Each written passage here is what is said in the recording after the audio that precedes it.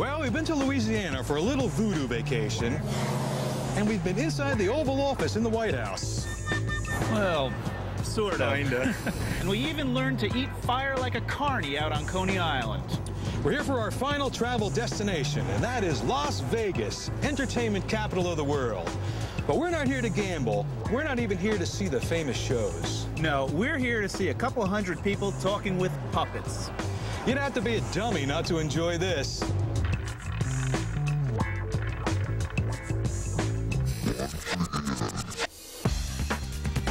Since the first casino opened on the Strip in 1941, Las Vegas has become a paradise for big spenders and a mecca for show business headliners. Hey!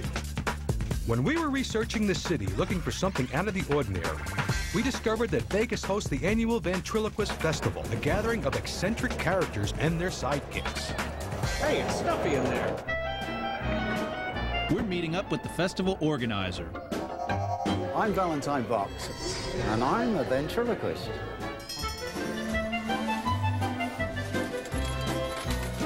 Dum dum de dum, dum dum de dum. Valentine Vox. Hey, Vox, come on. That's right. We're here for the Ventriloquist Convention. We brought our dummies, and we're ready to learn. Well, come with me. I'll show you where it is. This is Louis, by the way. Hey, hi, guys. It's a pretty exciting time, and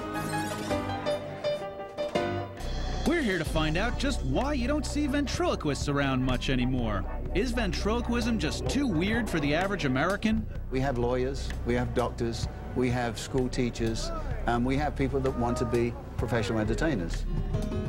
Would like to know how the art of ventriloquism really got started. I mean, is it an old art? How, how far back does it go? Well, as a practice, it, it goes back thousands of years. Thousands? Yeah, it started as a form of necromantic divining. Wait a second, say that again. Necromantic diviner, what's that? Well, that's divining the future by communication with the dead. And there was a certain kind of necromancer that practiced what we call gastromancy, divining by the stomach.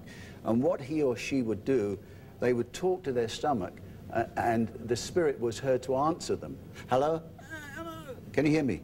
Can you? And then they would predict the future. Hence, they were called ventriloquists, from the two Latin words ventra loqua, belly to speak. This ability to throw their voices terrifies highly superstitious people during the Middle Ages. Even intellectuals who you'd think would know better were spooked by them. Photius, the patriarch of Constantinople, said it is a wickedness lurking in the human belly. So these people were really a little too good for their own good then. That's right, that's right. But when Fred Russell introduces the first lap figure in 1896, ventriloquism as we know it is born. So, Valentine, we're interested in becoming master ventriloquists. You are. Well, the first thing is, is creating a voice for your character. Now, I- I'll show you what the difference is with a ventriloquial voice and a voice. I'm speaking like this, one, two, three, four, and here's my character's voice. And one, two, three, four. So just try that. You can move your lips. You Okay, just a higher voice than, no, than my no, own. no, it's a nasal voice. It goes mainly through the nose. One, two, three, four. Good. One, two, three, four. Okay, so now we've got the voice straight. Now the most important part is lip control. Now let's just try the alphabet, okay? Teeth and lips slightly apart. You ready? Here we go. A, B, C, D, M, N, O, S, T, U, X, Y, Z. Right. Ah, okay. Oh, by the way, I wanted to point out one thing to you, Mark. Yeah. Uh, years ago, uh, ventriloquists who weren't very good at lip control used to grow large beards to cover up their lips. So you're on your way. I'm on, the, I'm on the right track. yeah, right. Gosh, I'm glad to see you back again out of my mouth. I see it all now. Just Charlie McCarthy is undoubtedly the most illustrious figure ever to grace a ventriloquist's knee. In 1936, his creator, Edgar Bergen, takes ventriloquism from vaudeville into the nightclubs. In that same year, they hit the radio waves and become an overnight sensation. So was Edgar Bergen ever as popular as Charlie McCarthy? No. We know who the star of that act is. Exactly, exactly. I mean, he, Charlie McCarthy became a real person. Lunch at the White House. Potluck with the Roosevelts. Yes.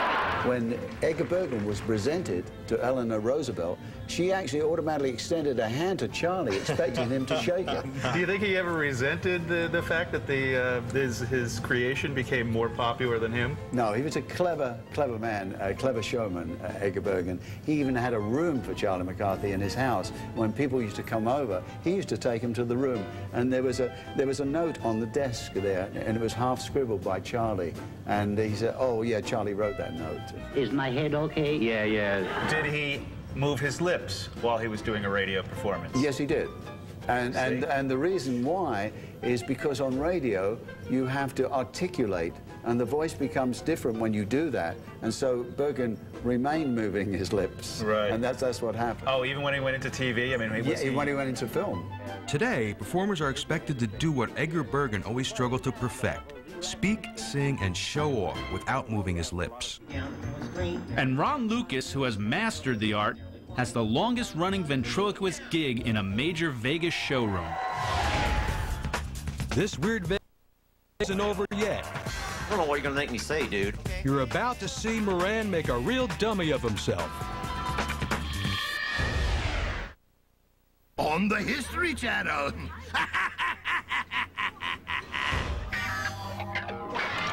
We're in Las Vegas for the ninth annual Ventriloquist Festival, the last leg of our pursuit of weird vacations. As always, it means taking a detour from the straight and narrow.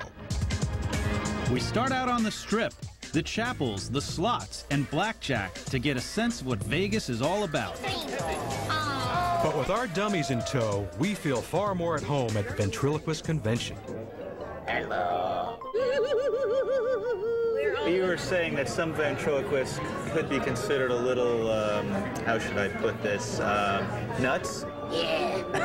Well, we do get the stereotype. We really do. All the wedding party were ventriloquists. Digga digga dum digga dig. Faster. Dum digga dum digga dum digga dum. We're not crazy. Some of us may seem crazy, but no, I don't talk to them whenever I'm by myself. Most ventriloquists, they're kind of schizophrenic. Most of these guys, if you talk to them, they're a little weird, you know? And if you look at their dummies and their, their eyeballs are kind of weird. They're schizo. Comedians are twisted enough, but ventriloquists. Action! And Hollywood hasn't helped their reputation. Ventriloquists are often portrayed as deranged, schizophrenic entertainers. As in The Great Gabbo, the classic horror movie Dead of Night, and Magic starring Anthony Hopkins in 1978. It is a strange profession. Oh, I can't wait. We're going to see the Ron Lucas show. Please welcome Ron Lucas. Just tell me your name and Hi, my name is Scorch. I'm green. When Vegas ventriloquist Ron Lucas is seven years old, he watches Edgar Bergen imitate a baby crying and gets hooked on the art.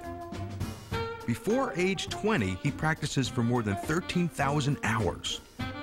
Today, he's surpassed Bergen's ability to throw his voice, and he set new standards when it comes to the figures he uses.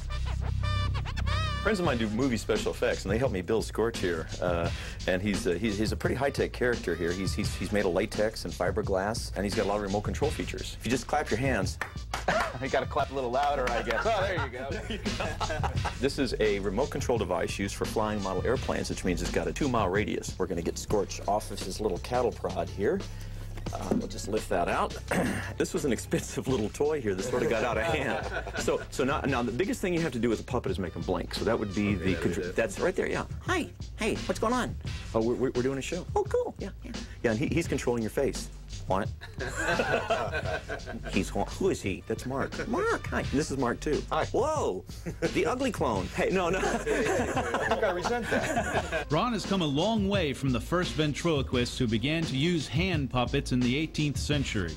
When the first wooden figure is introduced in the late 19th century, its eyes and mouth are manipulated by pulling hooks inside the figure's head.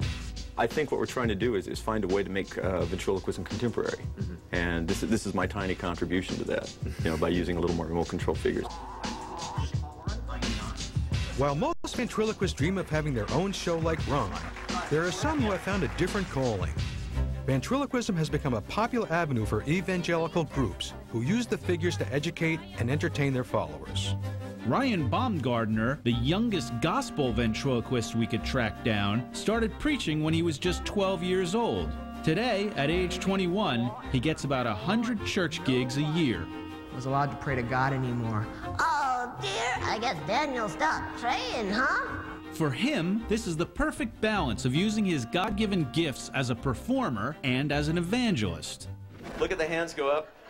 When Ron asked for a volunteer, I wondered if I could keep up with him on stage. Even though I'd only had one lesson, I was ready for the challenge. Have you enjoyed your convention so far? I've found that ventriloquists are an extremely weird lot. And, and, and from our point of view, that's a compliment, folks. Okay, head up, hands in front, preferably. When I pinch the back of your neck, that's your cue to drop your jaw really big. Let's do it two times the sound. Okay. That was good. Do it, do it four times. Okie dokie. How about once, really big?